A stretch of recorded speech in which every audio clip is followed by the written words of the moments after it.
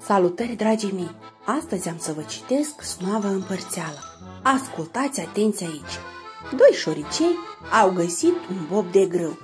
Bobul era învelit în sos de pleavă, iar șoricei nu știau cum să-l împartă. Ei, și hai că s-au luat ei la o ceartă. Erau ei cam lacom, dar și săraci la minte.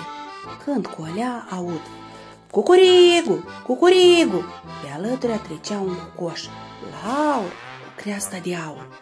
Și cucoșul le zice, ce vă certați?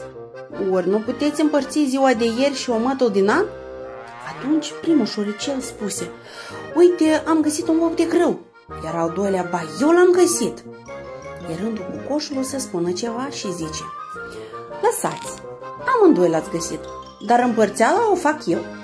Dă cu ciocul, decojește bobul, un soț îi dă unui șoricel, alt soț îi dă altui șoricel și zice Uitați-vă, așa sunt eu. Cu o mână dau și cu alta iau. Și înghite bobul de grâu, iar șoricei au rămas cu gura căscată. Uite așa, cine împarte, parte își face. Stați acasă, noi citim.